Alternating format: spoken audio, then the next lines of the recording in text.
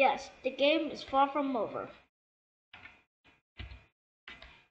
Ukraine has spurred the desire of all these countries to improve their capabilities to avoid becoming a future Ukraine. Makes sense, doesn't it? But now it's your turn. Which countries do you think will be the future military powers of?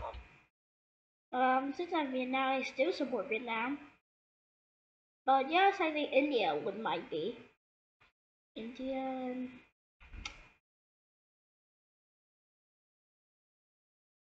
Who cares?